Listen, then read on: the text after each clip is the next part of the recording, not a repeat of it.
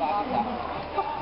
Sve to ispričati, malo je i godina dana, a i raja nervozna, pred njima je hrana.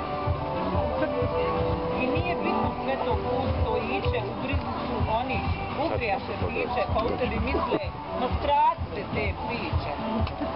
Naša je Ane zaslužila i više, pa vas lijepo molimo, što tiše. Dugo smo mi dumali šta da joj damo, odluka je pala. Ovu pjesmu samo, da joj lijepo otpjevamo, sve u njenu slavi. Hajde ti otrpi pa se ne okreni. Ne, nema lastice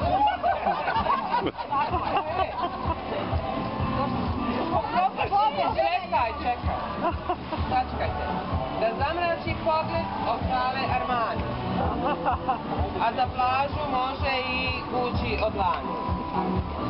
Ana je naša za svjetske teme. Ne loži se previše na lokalne probleme.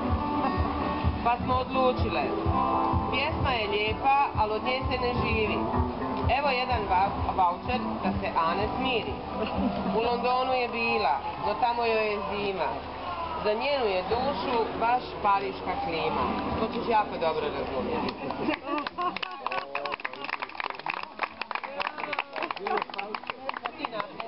Mislili smo zajedno idealan plan da Ane u Parizu kupi jedan stan, da vidi izbliza da li je i tamo kao ovdje kriza. Sve smo zricale da je primi Sarkozy, ali molimo da se ne zgrozi. Nek s njim popriča i iznese plan, možda joj pomognu pa da kupi stan.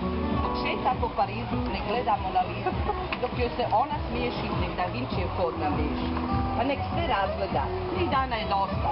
Znate li vi, dragi ljudi, koliko to košta? Ali sve za našu Anu, ali sve za našu Anu, već se sve vidimo u pariškom stanu. I otvaramo slavlje, vino neka teče, samo vas molimo da pazite na zvijeće.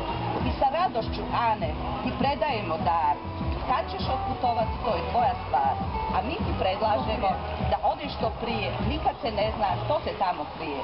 Možda u Francuskoj izbiti afera i džabe smo ricale vezu kod premijera. Napiši nam razglednicu sa posebnim hvala. Da smo tako divne, to si uvijek znala. Sretan ti rođendan, naša Ane bila, uvijek ti nama sretna i zdrava bila. I po cijelom svijetu nosi osmijeh tvoj, jer tvoj osmijeh Ane za dušu je lijek.